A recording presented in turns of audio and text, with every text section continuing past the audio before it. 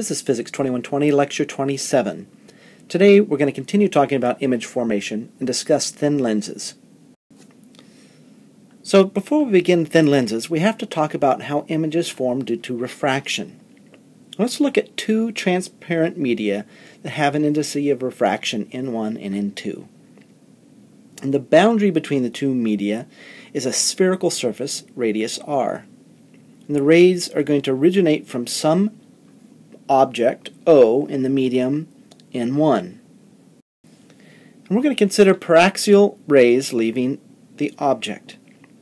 And all such rays are refracted at the spherical surface and focus at this image, I.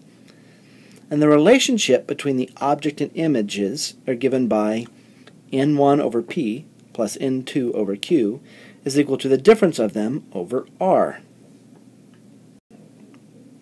The side of the surface in which the light rays originate is defined as the front side, and the other is called the back side. Real images are formed by refraction in the back of the surface. So because of this, the sign conventions for Q and R for refracting surfaces are opposite those for reflecting surfaces we talked about in the last lecture. So for refracting surfaces, P is positive when the object is in front of the surface, it's a real object, or negative when the object is in back of the surface, it's a virtual object. The image location Q is now going to be positive when the image is in back of the surface, so on the opposite side and that'll be a real image. And it's negative if it's a virtual image, if it was in front of the surface. The image height is going to be upright when it's positive, negative when inverted, and the radius is positive if the center of curvature is in back of the surface. It'll be positive or negative if it's in front of the surface. Now what if the radius goes to infinity? What if it's a flat refracting surface? Then if we solve our equation, we get q is minus n2 over n1 times p. So the image formed by a flat refracting surface is on the same side as the object, and it's a virtual image. So here's the object. As the light rays come out, they're refracted out. And what it, it appears then is the light rays appear to come from a point which we call a virtual image. So that means that if I look at things underwater, their location is actually different than what I see. So for example, let's say I have a small fish and it's swimming at some depth d below the surface of a pond. What's the apparent depth of the fish when I look at it from directly overhead? So this is a flat surface, so r is equal to infinity. We plug that into our equation and we end up with what we said before, q is minus n2 over n1 times p. We plug in our values. So plugging in our values for q is equal to minus 1 over 1.33, or is negative 0.75 d. So in other words, when we look at the fish, it looks closer than it actually is. And so oftentimes when we grab for something underwater, as we grab, we grab at something and we miss because it appears about 75% closer than it actually is. So now that we understand image formation, we can start talking about lenses. And they're used to form images by refraction. And they're used in lots of optical instruments like cameras or telescopes or microscopes or eyeglasses. So, light passes through the lens and it experiences refraction at two surfaces. The image formed by one refracting surface acts as the object for the second surface. So if I were to actually look at light going through a lens, I'm incident at some angle to a normal on this, so I'm refracted, and then as I come through, I'm refracted again. So a lens has an index of refraction n, and two spherical surfaces, radius 1 and 2. Radius 1 is the radius of curvature of the lens surface that the light of the object reaches first, and R2 is the radius of curvature of the other surface. the object is placed at point O at a distance p1 in front of the first surface. So then there is an image formed by surface 1. And since the lens is surrounded by air, n1 is equal to 1, and we end up with 1 over p1 plus n over q1 is equal to n1, n minus 1 over r. So if the image due to surface 1 is virtual, q1 is negative, and it's positive if the image is real. For surface 2, in this case, n1 is equal to n, and n2 is equal to 1. So the light rays approaching surface 2 are in the lens and are refracted into the air. So P2 is the object distance for surface 2, and Q2 is the image distance.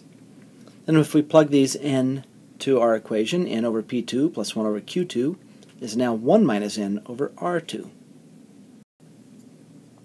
If a virtual image is formed at that surface 1, then P2 is minus Q1 plus the thickness. If a real image is formed from surface 1, then P2 is minus Q1 plus the thickness, where in this case Q1 is positive, where before it was negative. If I combine these two things, then I get that 1 over P1 plus 1 over Q2 is equal to n minus 1 times 1 over R1 minus 1 over R2. This is called the lens maker equation. So a thin lens is one whose thickness is small compared to the radius of curvature. And so a thin lens, the thickness, t of the lens, is neglected. And if that's the case, then P2 is equal to minus Q1 for either type of image. And then the subscripts P1 and Q2 can be omitted. And we're going to define the focal length of a thin lens as the image distance that corresponds to an infinite object distance, which then makes it the same as a mirror.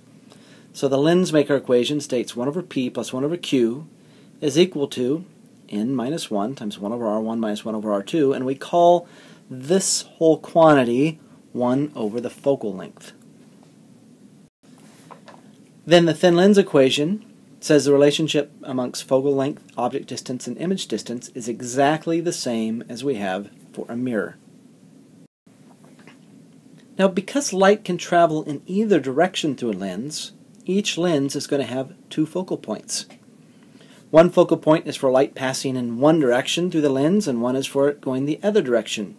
However, there is only one focal length. Each focal point is located the same distance from the lens, just on opposite sides.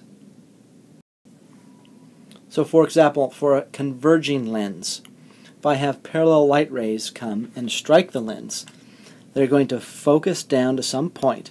The focal length is the distance from the middle of the lens to where those all converge. In this case, if we look over here, I have a focal length. In the middle of the lens is at 15. Uh, these cross at 20, so the focal length would have been 5 centimeters. Now, if light were to come through the other direction, I'm going to get light focusing down over here, and the length between the middle lens and the focal point is the same for the light going in the two different directions. For a diverging lens, I also have two focal points. In this case, as parallel light rays come, they're all diverge away, but they appear to come from the focal point. And exactly the opposite thing happens on the light going through the other way. So the focal point is the point where the rays appear to have originated. So in this case, this focal point might be way over on the side. We couldn't measure it given this picture, but you can see how they appear to come from some point over on this side. So, to determine signs for thin lenses, the front side of the thin lens is the side of the incident light. The back side is where the light is reflected into. Is also valid for a refracting surface. So, P is positive in front of the lens, Q is negative if it's in front of the lens. P is negative if it's in back of the lens, and Q is positive if it's in back of the lens. So if we look at our sign conventions for thin lenses, they're going to be the same as the sign conventions for a refracting surface. The only difference is we need to consider R1 and R2. R1 and R2 are positive if the center of curvature is in back of the lens. They're negative if the center of curvature is in front of the lens. And the focal length is positive. Then we have a converging lens. If it's negative, we always have a diverging lens. The lateral magnification of an image through a thin lens is same as we had for mirrors. It's h prime over h, or minus q over p. So when m is positive, the image is upright and on the same side of the lens as the object. When m is negative, it's inverted and on the side of the lens opposite of the object. Now I can have lots of different shapes for thin lenses. All of these are examples of a converging lens. So I can have biconvex, where I have a convex shape on both sides of it. I can have a convex concave or a plano convex. The convex concave, the radius on this side is larger than the radius on the outside. And plano convex just means one side of it is flat. All of these, the light going through them, are going to converge. Now, these are examples of diverging lenses. They all have negative focal lengths, and they're all going to be thickest at the edges. So biconcave, or convex concave, where this case, the um, this is the smaller radius of curvature, so I'm thicker out at the edges, or the plano convex, where I have, again, a flat surface and a concave surface. Now we can also look at ray diagrams for thin lenses. And first we're going to look at converging lenses. They are convenient for locating images formed by thin lenses or for systems of thin lenses. For a converging lens, we have the following three rays. Ray 1 is drawn parallel to the principal axis, then passes through the focal point on the back side of the lens. Ray 2 is drawn through the center of the lens and continues straight in a straight line. Ray 3 is drawn through the focal point on the front of the lens, or as, as if it was coming from the focal point if our p is less than our focal length, and emerges from the lens parallel to the principal axis.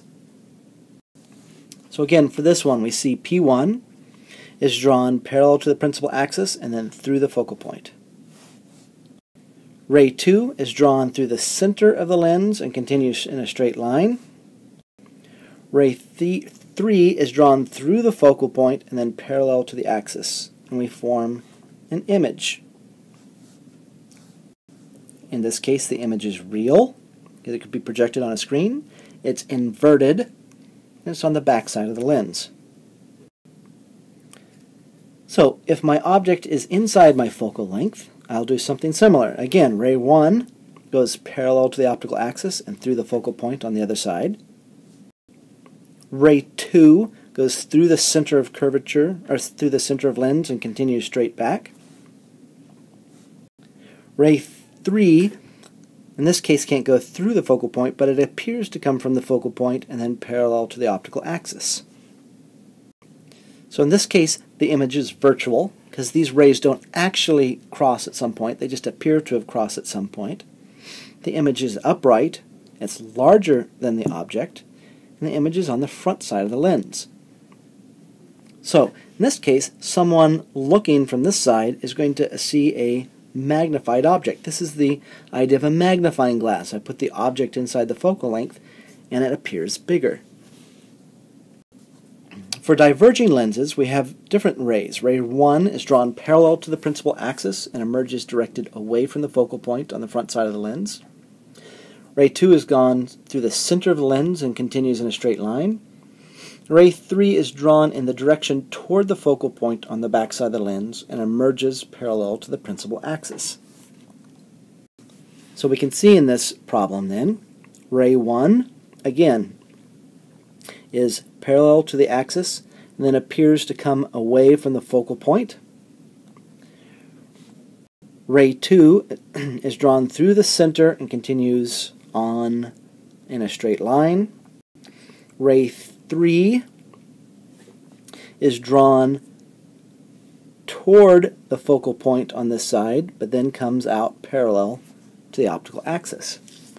And if I looked at these three diverging rays, and they appear to come from this point here.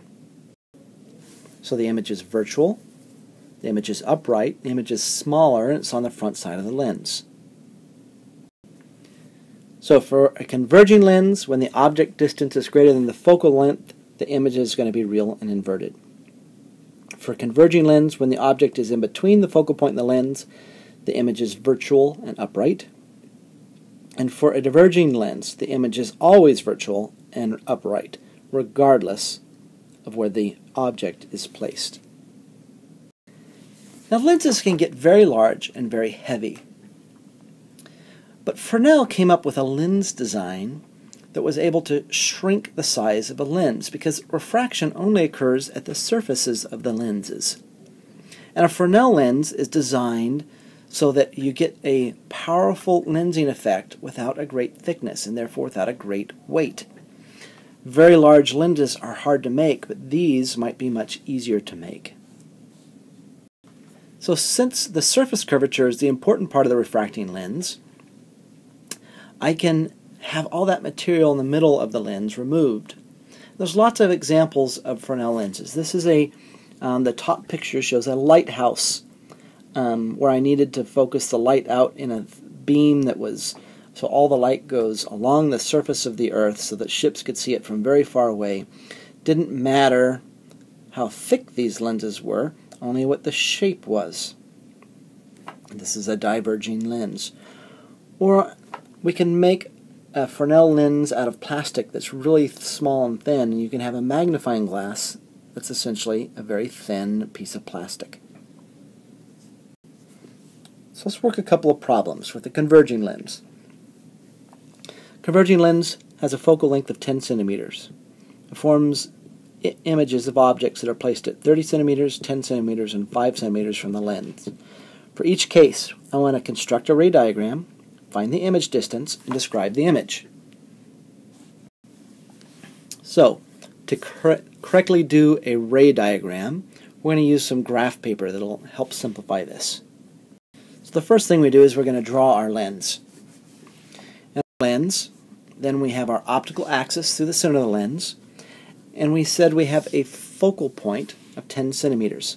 So each block on here is going to be 2 centimeters. So we're going to go 1, 2, 4, 6, 8, 10. We have a focal point on either side of the lens.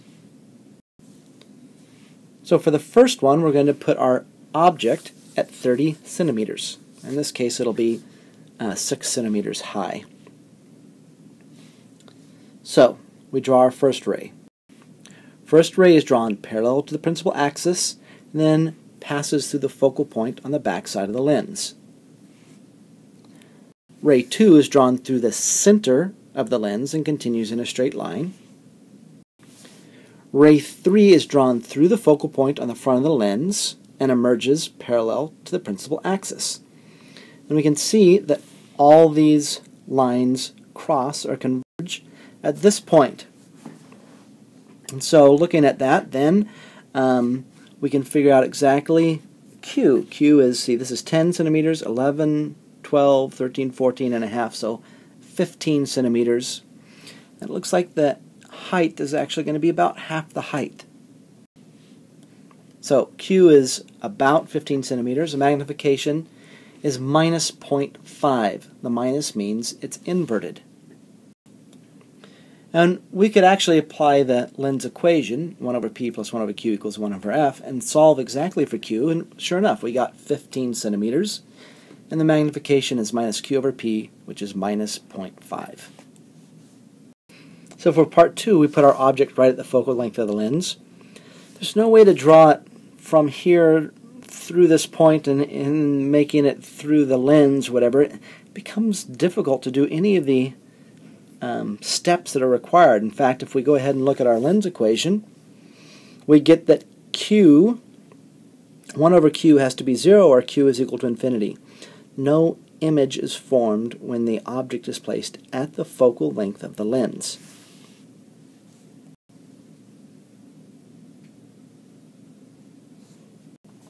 So for part 3, we're going to have our object 5 centimeters from the lens. In this case, I'm going to let my object be 4 centimeters high. And so ray 1 is drawn parallel to the optical axis and then through the focal point on the back side of the lens.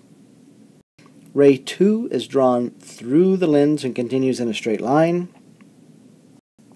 Ray 3 is drawn as if coming from the focal point to the lens and then is drawn uh, parallel to the optical axis after that. And we look at where these three cross. And they cross over in this area right here. And so looks like Q is approximately minus 10. It's negative because it's on the same side as the object. And it looks like it's twice as high, so the magnification is equal to 2. And sure enough, if we plug it into our um, lens equation, we solve for Q is minus 10 centimeters. Magnification is minus Q over P. So the magnification is going to be 2. So this is acting like a magnifying glass again. It's, it's making the object appear twice as large and a little further away from our eyes so we can focus on it easier. Now I can have combinations of thin lenses. And if I'm looking through a combination of lenses, the image formed by the first lens is used as the object for the second lens. So I can form the object through the first lens as if uh, the uh, image, as if the second lens weren't even there, but then I use that image as the object for the second lens. The image formed by the second lens is the final image of the system.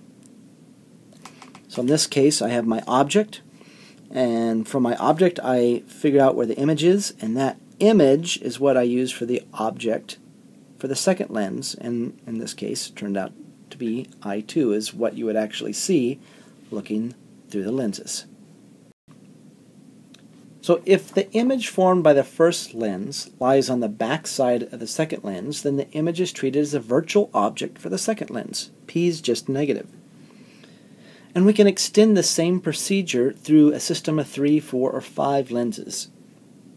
And the overall magnification is going to be the product of the magnification on each separate lens. Now what if I have two lenses that are in contact with each other? And those lenses have focal lengths f1 and f2. For the first lens, then, 1 over p plus 1 over q1 is equal to 1 over f1. And since the lenses are in contact, P2 is equal to minus Q1. So for the second lens, 1 over P2 plus 1 over Q2 is equal to 1 over F2, which is the same as saying 1 over minus 1 over Q1 plus 1 over Q. And if I combine those two equations, I see that 1 over the focal length of the combination is equal to 1 over the first lens's focal length plus 1 over the second lens's focal length. So two thin lenses in contact with each other are equivalent to a single thin lens having a focal length given by this above equation. Let's work a problem. Two thin converging lenses of focal lengths 10 and 20 centimeters are separated by 20 centimeters. An object is placed 30 centimeters in front of lens 1. Find the position of the final image, describe it, and determine the magnification. So first, 1 over p1 plus 1 over q1 is equal to 1 over f1. That gives Q1 is equal to 15 centimeters. It's positive, so Q1 is going to be over in this area right here. So that means Q1 is 15 centimeters, and that means P2 is 5 centimeters, since it this object is 5 centimeters in front of the second lens. So I use that, and I get the magnification of the first lens is negative 0.5 meters. So now I look at the lens equation for the second lens, 1 over P2 plus 1 over Q2 is equal to 1 over F. I solve for Q2 is minus 6.67 centimeters. So magnification 2 is minus Q2 over P2, which is plus 1.33. So the overall magnification is the product of those two, and the overall magnification is minus 0.667. So, looking at it, the image is going to be virtual, it's going to be inverted and smaller. Now, there are some lens aberrations that we need to consider. And we've made some assumptions that rays always made small angles with the principal axis and the lenses are thin. The rays from a point object do not focus at a single point. That causes a blurred image. A departure of actual images from ideal predicted by a model are called aberrations. Spherical aberration results from the focal points of light rays far from the principal axis being different than the focal points passing near the axis. So for a camera, a small aperture allows a greater percentage of the rays to be paraxial. For a mirror, parabolic shapes are used to correct for spherical aberration. We also remember that different wavelengths of light are refracted by a lens at different points violet rays are bent more than red rays. So the focal point for red light is slightly greater than the focal length of the violet light. And chromatic aberration can be minimized by using a combination of converging and diverging lenses made of different materials. So to review what we talked about today, we looked at images formed by refraction. Specifically, we looked at different types of lenses, converging and diverging lenses. We looked at the lens equation, 1 over p plus 1 over q is equal to 1 over f. And we talked about combinations of lenses. 1 over f1 plus 1 over f2 is equal to 1 over f.